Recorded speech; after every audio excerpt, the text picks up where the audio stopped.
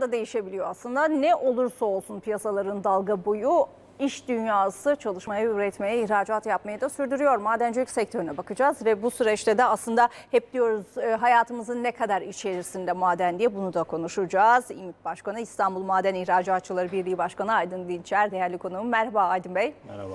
Ee, aslında cumaları buluşuyoruz sizlerle evet. ve bu noktada da madene bakıyoruz ve maden dediğimizde de hani içinde var başlığıyla da hayatımızın ne kadar e, içinde olduğunu da aktardık. Şimdi söylediğim gibi piyasalar ne kadar dalgalanırsa dalgalansın üretim devam ediyor, ihracat devam ediyor. Ham madde fiyatları ne olursa olsun alınıyor çünkü üretmek lazım ve işlemek lazım. Bu noktada ilk iki ay nasıl geçti bununla başlayalım sonra bir e, hayatımızın içindeki noktasıyla devam edelim tam piyasalarda da bir anda e, renk değişebilirken siz bu iki ay tamamlanırken, Şubat'ta tamamlanırken ihracatta nasıl bir performans gösterdiniz madenciler olarak? Maden ihracatı e, bu iki ayda 700 milyon dolara yaklaştı. E, dolayısıyla e, biz 2020 ile kıyaslamıyoruz artık kendimizi bu yıl. Çünkü 2000 19'da daha normal bir yıl geçirmiştik. 2020'de çok ciddi düşüşler vardı. Dolayısıyla başarımızı eğer bir başarı varsa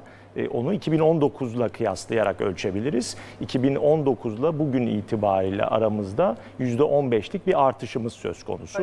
Dolayısıyla bu pandemiden sonra geçen yılı çok kötü geçirdiğimiz için e, orada ciddi düşüşler yaşamıştık. Orayla kıyaslarsak çok daha yüksek bir oran çıkar. Dolayısıyla biz ona bakmak istemiyoruz. Gerçek, real pandemi öncesinden bir artış sağlayabildik mi ona bakıyoruz. O şekilde baktığımızda da %15'lik bir artışımız var bu son iki ayda aslında 2020'nin hemen başı itibariyle madencilik sektörü hissetmişti pandemiyi, o virüsün etkisini. Çünkü Çin'di doğrudan iş yaptığınız. Evet. Daha çok e, ihraç e, ürün gönderdiğiniz pazar.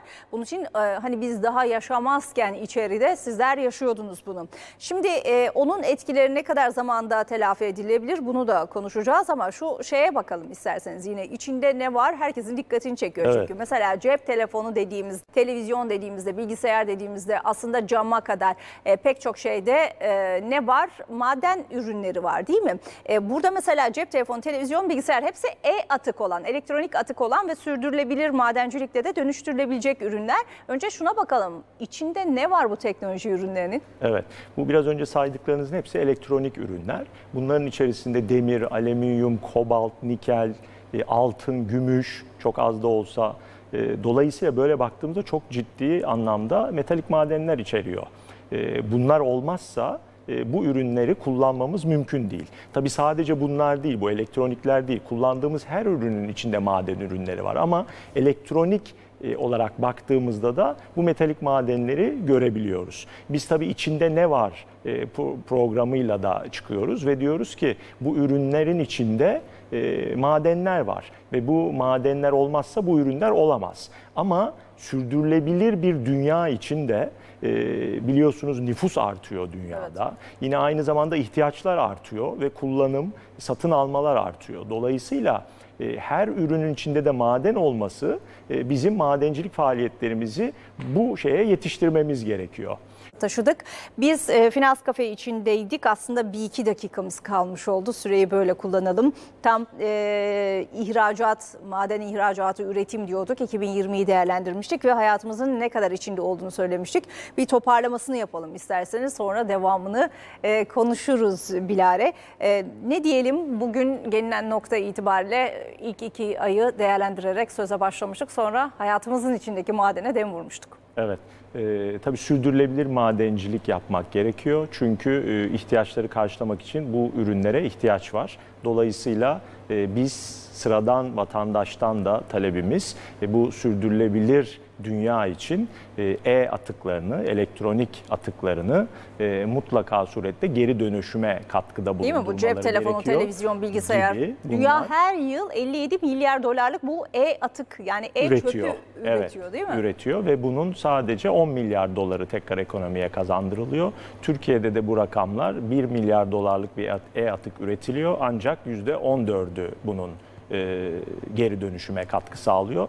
Dolayısıyla bu madenlere ihtiyacımız var. Bu madenleri yeryüzü kabuğundan çıkarıyor madencilerimiz ve tüm dünyaya sunuyor, e, fayda sağlıyor ama bireylerin de buna katkı sağlaması gerekiyor. Evet, bilinçli tüketiciler olarak e, madem doğayla dost Evet. olmak istiyoruz, e, üretimden ihracata ve sektöründe böyle olması konusunda da salık veriyoruz. Şimdi e, Türkiye hayatının ne kadarını dönüştürebiliyor dediğimizde dünyada bu konuda en iyi olan Avrupa mı? Avrupa %40 e, civarında bir e, dönüşüm sağlayabiliyor. E, Türkiye %14 E, ama dünya ortalaması Amerika %8'lerde, dünya ortalamasına baktığımızda da %17'de kalıyor.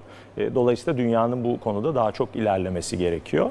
E, Tabii madenler sadece bildiğiniz gibi elektronik veya kullandığımız ürünlerde değil, elektrik üretiminde de kullanılıyor. Evet. Kömür olmadan, doğalgaz olmadan elektrik üretimi yapılması mümkün değil. Yenilebilir enerji e, sadece %16 civarında ama e, dünya %38'ini kömürden, e, Almanya %38'ini yine kömürden üretiyor elektriğin.